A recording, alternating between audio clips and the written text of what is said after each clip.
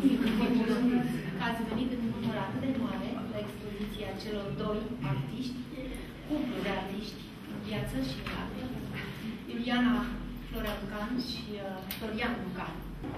Pentru că parcursul expozițional uh, pare la îndemâna tuturor, merită o precizare foarte detaliată, pentru că acest concept, timpul transformărilor, care se subsumează titlului expoziției, le aparține și felicit. Am aderat la el, mi-a plăcut foarte mult, de aceea uh, Galeria Veronica Art găzduiește astăzi această expoziție până în data de 15 decembrie.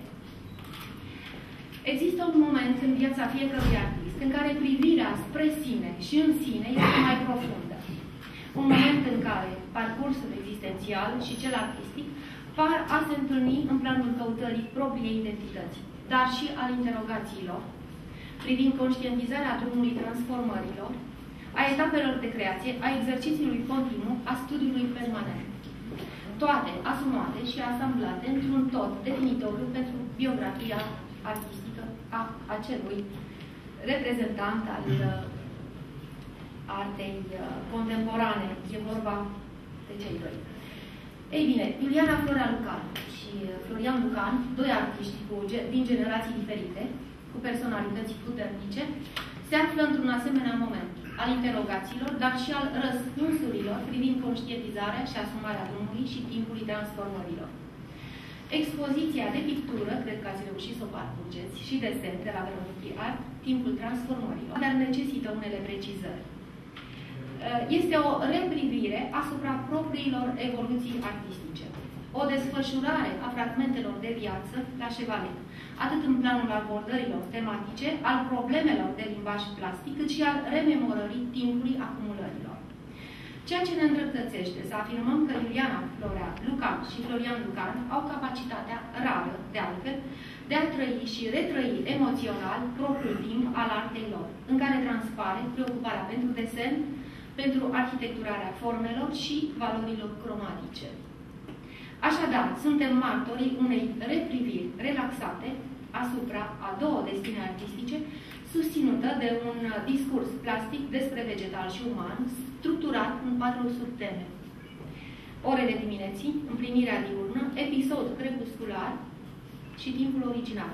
Mm, expoziția se numește Timpul transformărilor și uh, titlul ei a pornit de la o lucrare semnată de mine întâmplător, pentru că uh, pentru că asta a fost întâmplarea.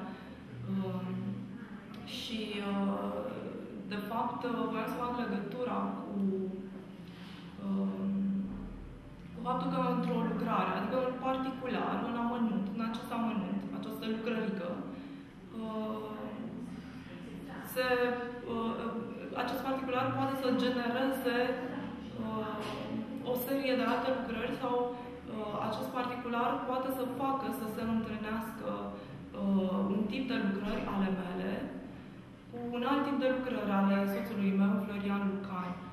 Timpul transformărilor este un, un titlu, să spunem, care încearcă să acopere oricum faptul că uh, atât eu cât și soția mea pe tematicile care le-am abordat, avem oarecum două, avem două atitudini, două, două moduri de a picta. Într-un fel, o să putem spune că suntem patru autori, de fapt, aici nu doi.